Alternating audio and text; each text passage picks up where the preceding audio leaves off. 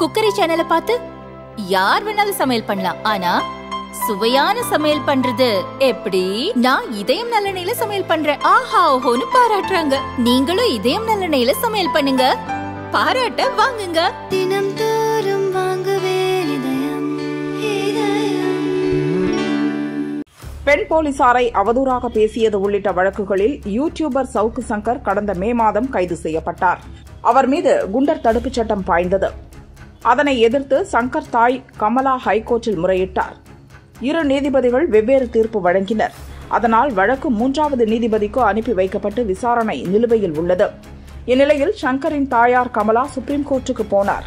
முதல் விசாரணையில் சங்கரை குண்டர் தடுப்புச் சட்டத்தில் கைது செய்யும் அளவுக்கு அவரால் பொது அமைதிக்கு ஆபத்து உள்ளதா தேச பாதுகாப்புக்கு அச்சுறுத்தல் இருக்கிறதா என தமிழக அரசுக்கு சுப்ரீம் கோர்ட் கேள்வி எழுப்பியிருந்தது. இன்று மீண்டும் இந்த வழக்கு நீதிபதிகள் சுதன்ஷு துலியா அமானுல்லா முன்னிலையில் விசாரணைக்கு வந்தது.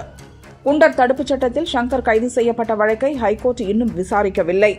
சுப்ரீம் கோர்ட் விசாரிக்க முன்வர வேண்டும். சங்கருக்கு ஆறு வார காலம் இடைக்கால ஜாமீன் வழங்க வேண்டும் என சங்கர் தாயார் தரப்பில் வாதிடப்பட்டது. அதை ஏற்ற நீதிபதிகள் இடைக்கால ஜாமீன் வழங்கி உத்தரவிட்டனர். ஹைகோர்ட்டில் நிலுவையில் உள்ள வழக்கில் முடிவு தெரியும் வரை இடைக்கால ஜாமீன் உண்டு. குண்டர் தடுப்புச் சட்டத்தின் கீழ் பதிவான வழக்குக்கு மட்டும்தான் இந்த இடைக்கால நிவாரணம். மற்ற வழக்குகளுக்கு இல்லை எனவும் நீதிபதிகள் கூறினர். இதனால் ஜாமீன் கிடைத்தும் சங்கரால் வெளியே வர முடியாத நிலை ஏற்பட்டுள்ளது.